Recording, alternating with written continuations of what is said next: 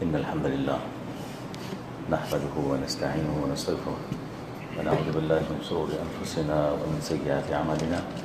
من يهده الله فلا مضل له ومن يضلل فلا هادي له. وأشهد أن لا إله إلا الله وحده لا شريك له. وأشهد أن محمدا عبده ورسوله. اللهم صل على محمد وعلى آل محمد. كما صليت على إبراهيم وعلى آل إبراهيم إنك حميد مجيد. اللهم بارك على محمد وعلى آل محمد كما باركت على إبراهيم وعلى آل إبراهيم إنك حميد مجيد. اللهم انفعنا بما علمتنا وعلمنا ما ينفعنا وزدنا علما. الحمد لله على كل حال ونعوذ بالله من حال أهل النار. أما بعد فإن خير الحديث كتاب الله. وخير الهدي هدي محمد صلى الله عليه وسلم وشر الأمور محدثاتها وكل محدثة بدعة وكل بدعة ضلالة وكل ضلالة في النار.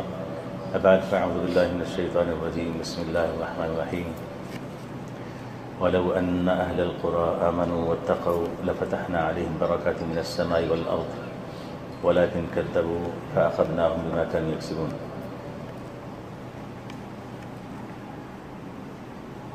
مال و دولت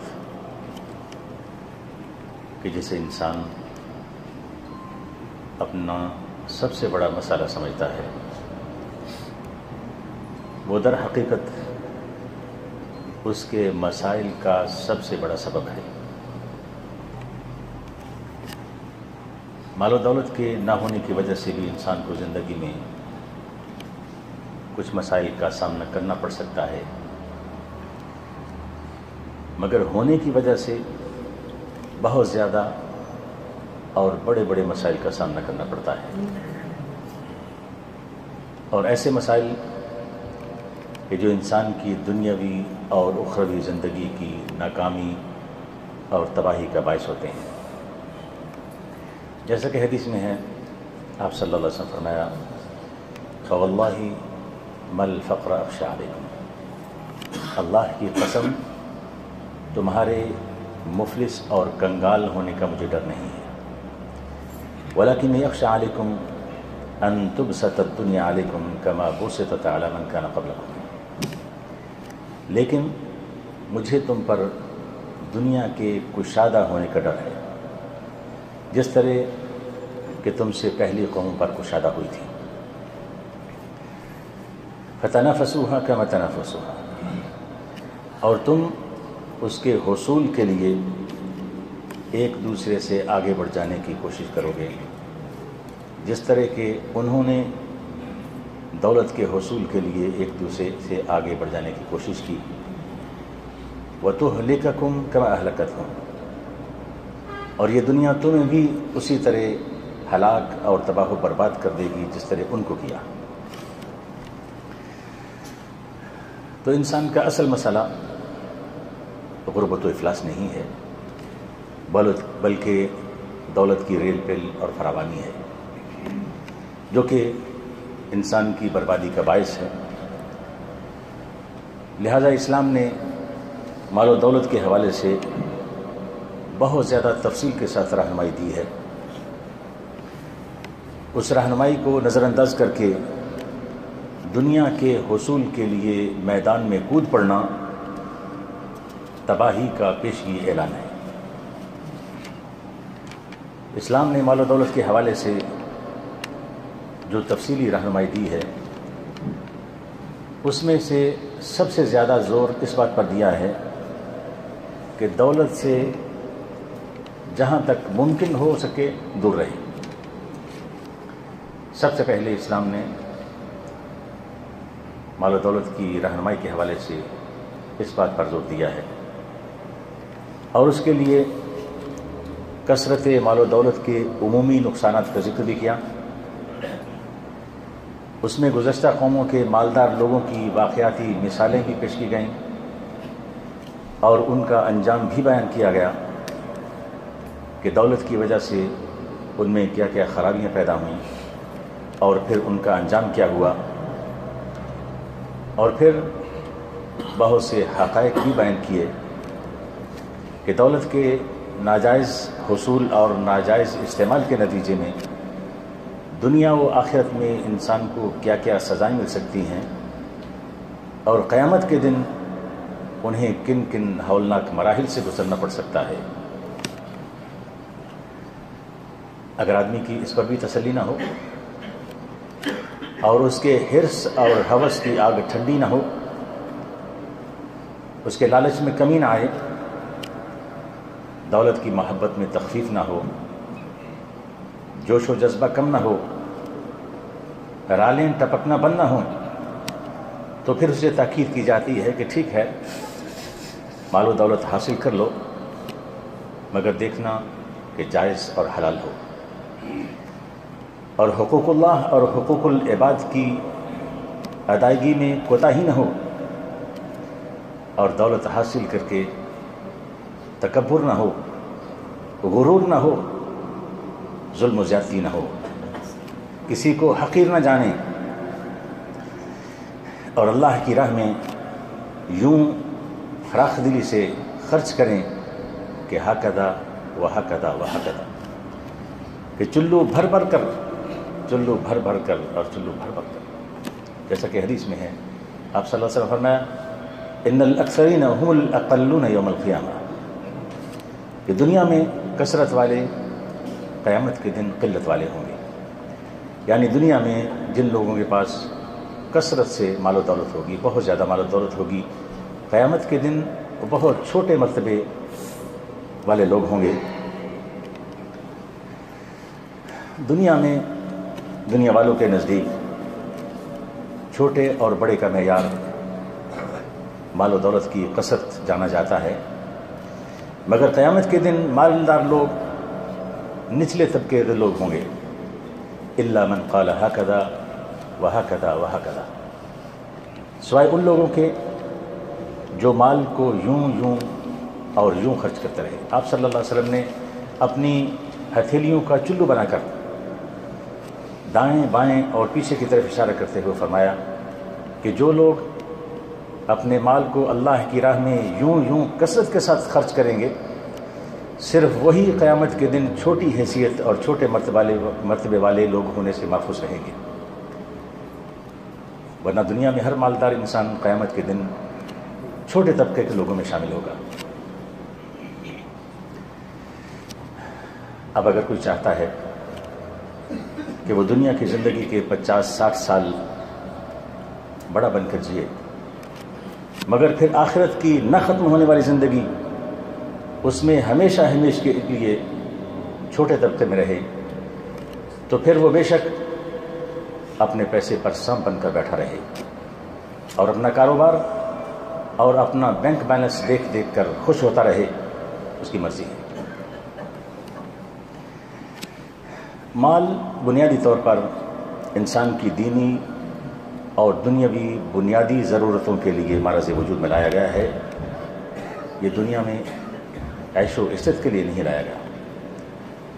گن کر رکھ، گن گن کر رکھنے کے لیے ہی نہیں، تجوریاں بھرنے کے لیے نہیں، اور بینکوں کے کھاتے سیاہ کرنے کے لیے نہیں بنایا گیا۔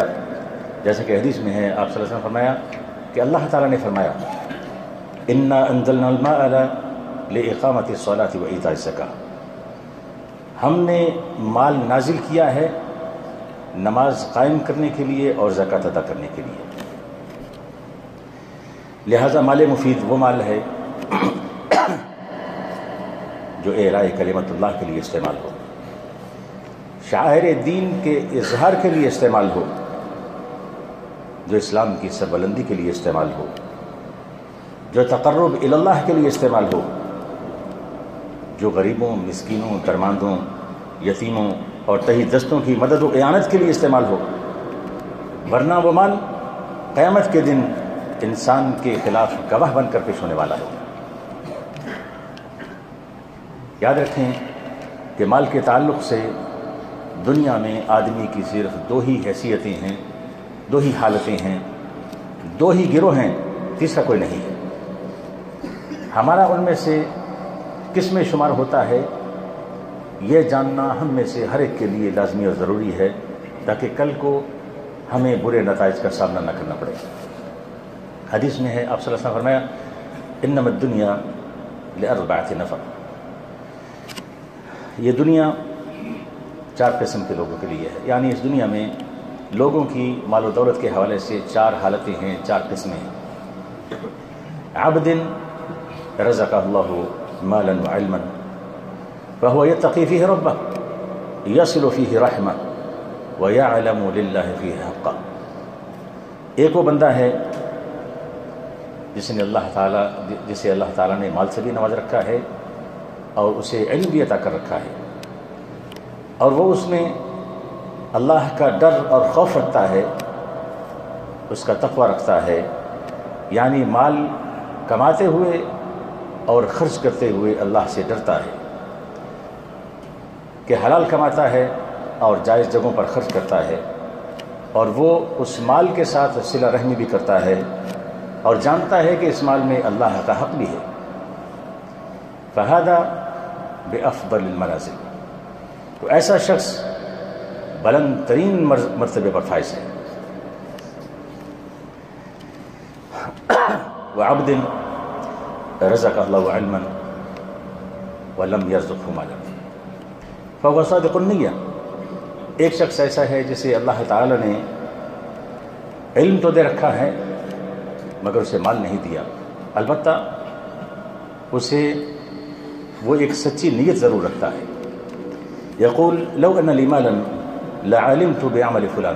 وہ کہتا ہے کہ اگر میرے پاس مال ہو تو میں فلاں شخص کی طرح اللہ کی راہ میں خرچ کروں۔ جس طرح وہ خرچ کرتا ہے۔ فہو بنیتیں، اس آدمی کا مقام و مرتبہ، اس کی حیثیت، اس کی نیت کے حساب سے ہے۔ فہما فل اجر فجرحما ثوا ان دونوں کا اجر و ثواب برابر ہے۔ ایک آدمی اللہ کی راہ میں مال خرچ کرتا ہے اور دوسرا علم رکھتا ہے۔ علم کی روشنی میں وہ یہ فیصلہ کرتا ہے کہ اگر میرے پاس مال ہو تو میں بھی اللہ کی راہ میں خرچ کروں۔ وہ عبدن اللہ مالا ولم يرزق علما۔ ایک وہ شخص ہے جسے اللہ تعالیٰ نے مال تو دیا ہے مگر علم نہیں دیا۔ فهو يخبط في ماله بغیر علم۔ وہ بغیر علم کے اپنے مال کو خرچ کرتا ہے، بغیر سوچے سمجھے خرچ کرتا ہے۔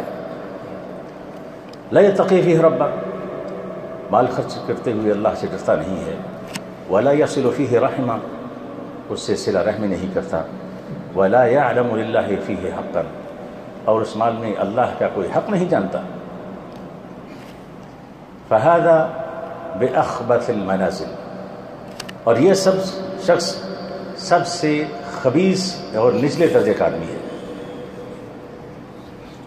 وعبد لم يرزق اللہ مالا ولا علما۔ اور ایک بندہ ایسا ہے جسے اللہ نے نہ مال دیا ہے، نہ علم دیا ہے۔ فهو يقول لو ان لي مالا لعملت لعملت فيه عمل فلان، بعمل فلان.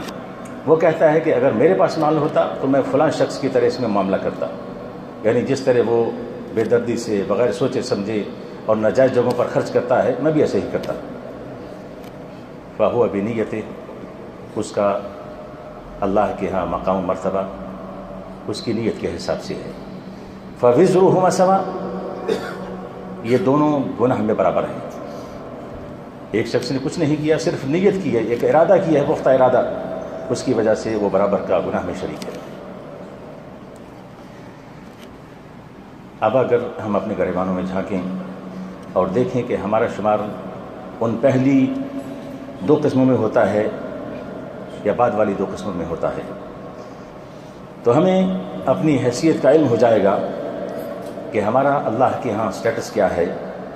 ہم اللہ کے ہاں اچھے مرتبے والوں والے لوگوں میں شامل ہیں یا خبیص اور گھٹیا درجے کے لوگوں میں شامل ہیں۔ اچھے مرتبے والے لوگوں کا عمل تو آپ نے جان لیا کہ وہ علم کی روشنی سے علمی کی روشنی میں اللہ سے ڈرتے ہوئے اور حلال رزق کماتے ہیں اور جائز جگہ پر خرچ کرتے ہیں۔ دوسری طرف گھٹیا ترین اور خبیص مرتبے والے لوگوں کے طرز عمل کا میں ذکر نہیں کرنا چاہتا۔ وہ آپ کو معلوم ہی ہے کہ وہ اپنے مال کہاں اور کیسے خرچ کرتے ہیں اور کن کاموں میں خرچ کرتے ہیں۔ ہمیں اس وقت اپنی حیثیت جاننی ہے کہ اللہ کے ہاں ہمارا مقام کیا ہے اور اس کے ہاں قسم قسم کے لوگوں میں ہمارا شمار ہوتا ہے۔ اس حدیث کی تشریح میں یوں تو بہت سی باتیں کہنے اور سننے کی ہیں۔ مگر اس میں ایک بہت اہم نقطہ مال اور علم کی کمبینیشن کا ہے۔ اور اس میں فوقیت اور اہمیت علم کو حاصل ہے۔ کہ علم کے بغیر مال نقصان دہ ہے، جبکہ مال کے بغیر بھی علم فائدہ مند ہے۔ اور علم سے مراد دین کا علم ہے، قرآن و حدیث کا علم ہے، مگر اس کا مطلب یہ نہیں کہ وہ ضروری طور پر وہ عالم ہو، بلکہ حلال اور حرام کے مسائل جانتا ہو۔ اور معلوم ہو اسے کہ کن کاموں سے اللہ خوش ہوتا ہے اور کن کاموں سے ناراض ہوتا ہے۔ اور اس طرح دیگر بنیادی باتوں کا علم ہونا ضروری ہے۔ مگر ایسا علم کہ جس کے مطابق انسان کا عمل بھی ہو۔ تو معنی یہ ہوا کہ دین کی بنیادی باتوں کا علم ہونا ضروری ہے۔ بالخصوص کسی ایسے معاملے میں کہ جس میں آپ ساری توانائیاں جھونک دینا چاہتے ہیں، جس کے لیے آپ دن رات تگ و دوڑ کرنا چاہتے ہیں، جس کو آپ اپنا اوڑھنا اور بچھونا بنانا چاہتے ہیں، اس کے لیے تو دین کے تقاضے معلوم کرتے چلیں۔ اس کے لیے تو دین کی ہدایات، ارشادات اور احکامات جان کر چلیں ورنہ آدمی کے ساتھ وہ معاملہ ہو سکتا ہے، جیسا کہ حدیث میں ہے۔ حدیث تو اگرچہ ضعیف ہے، مگر ہم ایک مثال کے طور پر اسے ذکر کرتے ہیں کہ مصر الدی یجلس یسمع الحکمت ثم لا يحدث عن صاحبه الا بشر ما يسمع کوئی آدمی کسی کے پاس بیٹھ کر حکمت و دانائی کی باتیں سیکھتا ہے، سنتا ہے مگر جب اٹھ کر جاتا ہے، کسی دوسرے کو وہ باتیں بتاتا ہے، تو اس میں سے وہ بات بتاتا ہے جو سب سے بری بات اس نے سنی ہو۔ کما صلی رجل اتى راعیا اس کی مثال ایسے شخص کی ہے کہ جو ایک چرواہے کے پاس آیا، فقال، یا راعی، اجزرنی شاۃ من غنمک اور کہا کہ، اے چرواہے، مجھے اپنی بکریوں میں سے ذبح کرنے کے لیے ایک بکری دے دے قال فخذ قال اذهب، فخذ باذن خیرها کہا، جاؤ، جا کے جو سب سے اچھی بکری تمہیں نظر آتی ہے، اسے کان سے پکڑ کے لے جاؤ۔ فذهب واخذ باذن كلب الغنم۔ وہ گیا اور جا کر وہاں بکریوں کی رکھوا کی۔ بکریوں کی رکھوالی کے لیے جو کتا ہوتا ہے، اسے کان سے پکڑ کے لے آیا۔ اب جو آدمی بکری اور کتے میں فرق نہ کر سکے۔ اس کی نظر صرف اس بات پر ہو کہ جانور موٹا تازہ ہونا چاہیے۔ اس نے کتے کو دیکھا کہ موٹا تازہ ہے، اس نے کان سے پکڑ کر لے آیا۔ وہ بکری کھا رہا ہے یا کتا کھا رہا ہے؟ اس کو اس سے غرض نہیں ہے۔ اس کو صرف اس سے غرض ہے کہ موٹا تازہ ہونا چاہیے، بہت زیادہ مال ہونا چاہیے۔ اسی طرح جو آدمی حلال اور حرام کے احکام جانے بغیر دولت کماتا ہے، اس کی حالت کچھ ایسی ہی ہے۔ کہ وہ کیا کھا رہا ہے؟ بکری سمجھ کر کتا کھا رہا ہے یا کیا کھا رہا ہے؟ لہٰذا ہم چند جنوں چند جمعوں سے یہی جاننے اور سمجھنے کی کوشش کر رہے ہیں کہ کہیں ایسا نہ ہو کہ ہم انجانے میں بکری سمجھ کر کتا کھا رہے ہیں۔ مال و دولت کے بارے میں خصوصی طور پر یہ جاننا اور خبردار رہنے کی کوشش کرنا اس لیے بھی ضروری ہے کہ یہ ایک بہت بڑا فتنہ ہے۔ ویسے تو زندگی میں انسان کو چھوٹے بڑے بہت زیادہ فتنوں کا سامنا کرنا پڑتا ہے، مگر مال ایک ایسا فتنہ ہے کہ جس نے پوری امت کو اپنی لپیٹ میں لے رکھا ہے۔ اسی طرح بڑے بڑے فتنوں میں سے کچھ فتنے خصوصی طور پر کسی قوم کے لیے مختص کر دیے گئے ہیں۔ ان میں سے مال ایک ایسا فتنہ ہے جو آپ صلی اللہ علیہ وسلم کی امت کے لیے خاص کر دیا گیا ہے۔ جیسا کہ حدیث میں ہے، آپ صلی اللہ علیہ وسلم نے فرمایا، ان لکل امت الفتنہ و فتنہ تو امتی المال ہر امت کے لیے ایک فتنہ ہوتا ہے اور میری امت کا فتنہ مال ہے۔ غربت و افلاس بھی یقیناً ایک فتنہ ہوتا ہے، آزمائش ہوتی ہے، مگر اس آزمائش میں اور مال و دولت کی آزمائش میں بہت فرق ہے۔ جیسے کہ حدیث میں ہے، حضرت عبداللہ بن عبد الرحمن ابن عوف رضی اللہ تعالیٰ فرماتے ہیں کہ ابتلین مع رسول اللہ صلی اللہ علیہ وسلم بالضرائی فصبرنا۔ کہ آپ صلی اللہ علیہ وسلم کے ساتھ بہت زیادہ تکلیفوں، مصیبتوں، پریشانیوں اور تنگیوں کے ساتھ ہمیں بھی آزمایا گیا۔ ہم پر بھی وہ مصیبتیں آئیں، مگر ہم نے سبق کیا۔ ثم ابتلین بالسراء بعدہ فلم نصبر۔ اور پھر آپ صلی اللہ علیہ وسلم کے بعد ہمیں خوشحالیوں کے ساتھ آزمایا گیا، مگر ہم صبر نہ کر سکے۔ تو غربت و افلاس کے فتنے سے اکثر لوگ بخیر و خافی، بخیر و عافیت کامیاب ہون، کامیاب ہو سکتے ہیں، مگر مال و دولت اور خوشحالی کے فتنے سے بچنا اور محفوظ رہنا جو شیر لانے کے مترادف ہے۔ آسان نہیں ہے۔ تنگیوں تکلیفوں، مصیبتوں اور سختیوں پر صبر کرنے کا مطلب تو آپ جانتے ہیں کہ انسان خندہ پیشانی سے ان کا سامنا کرنا پڑتا ہے اور اللہ تعالیٰ کا گلا اور شکوہ نہیں کرتا۔ مگر مال و دولت کی فراوانی اور خوشحالی پر صبر کرنے کا مطلب کیا ہے؟ تو اس کا مطلب ہے کہ نعمتوں پر اللہ کا شکر ادا کرنا، معصیتوں اور نافرمانیوں کا ارتکاب نہ کرنا، مال آنے کے بعد تکبر اور غرور نہ کرنا اور اس کے حصول کے لیے ایک دوسرے سے ایسی سبقت لے جانے کی کوشش نہ کرنا کہ جس سے اللہ کے حقوق اور بندوں کے حقوق ضائع ہوں اور آخرت بھول جائے۔ بلکہ تکلیفیں اور مصیبتیں تو عموماً آتی ہی اس لیے ہیں کہ لوگ توبہ استغفار کر کے اللہ کی طرف رجوع کریں۔ جبکہ خوشحالی عموماً سزا کے طور پر آتی ہے۔ اللہ یہ کہ لوگ واقعتاً خوشحالی کے مستحق ہوں اور لوگ کب خوشحالی کے مستحق ہوتے ہیں، اس کا ذکر انشاءاللہ بعد میں کریں گے۔ ذرا تنگیوں اور تکلیفوں اور نعمتوں اور خوشحالیوں کی آزمائش کا فرق ملاحظہ کیجیے اللہ فرماتے ہیں، وما ارسلنا فی قریۃ من نبی الا اخذنا اهلها بالبأساء والضراء لعلهم يضرعون کہ کبھی ایسا نہیں ہوا کہ ہم نے کسی بستی میں کوئی نبی بھیجا ہو اور اس بستی کے لوگوں کو پہلے تنگی اور سختی میں مبتلا نہ کیا ہو۔ اس خیال سے کہ شاید وہ عاجزی پر اتر آئے۔ ثم بدلنا مكان السيئة الحسنة حتى فوقوا قد مس آباءنا الضراء والسراء فأخذناهم بغتة وهم لا يشعرون۔ اور جب وہ اس حکمت کو نہ سمجھ سکے اور اپنی بدعمالیوں پر اسی طرح مصر رہے، تو پھر ہم نے ان کی بدحالی کو خوشحالی سے بدل دیا۔ یہاں تک کہ وہ خود خوب پھلے پھولے اور کہنے لگے کہ ہمارے آبا و اجداد پر بھی اسی طرح تنگی اور خوشحالی آتی رہی ہے۔ آخر کار ہم نے انہیں اچانک پڑھ لیا، پکڑ لیا اور انہیں اس کا شعور بھی نہ ہوا۔ یعنی انہوں، ان کو اس بات کا احساس ہی نہ ہوا، اندازہ ہی نہ ہوا کہ یہ خوشحالی تو اللہ تعالیٰ کی طرف سے ایک فتنہ اور ازمائش تھی۔